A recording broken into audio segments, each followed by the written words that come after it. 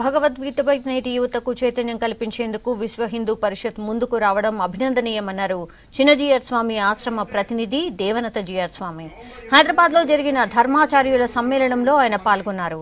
శత్రు సంహారం కోసం అర్జునుడికి శ్రీకృష్ణుడు ఉపదేశించిన గీతా శ్లోకాలను యువతతో పారాయణం చేయించడం గొప్ప కార్యక్రమం అని చెప్పారు దేవనత జీఆర్ స్వామి. డిసెంబర్ పద్నాలుగున హైదరాబాద్లో విహెచ్పి నిర్వహించే లక్ష యువగల గీతార్చనలో పాల్గొనాలని యువతకు సూచించారు. మన భగవద్గీత రచించడం జరిగింది. జై శ్రీమన్నారాయణ. ప్రియ భగవద్ బంధువులారా విశ్వ హిందూ పరిషత్ ఒక గొప్ప కార్యక్రమాన్ని ఆరంభిస్తుంది. లక్ష యువగల గీతార్చన అనే పేరుతో మన జాతికి ప్రపంచ శాంతికి ఒకనాడు భగవంతుడు చెప్పినటువంటి వాక్యే ప్రమాణము అని మనంతా విశ్వసిస్తాం. అది భగవద్గీత అని మనకి లోకంలో అందరికీ తెలుసు.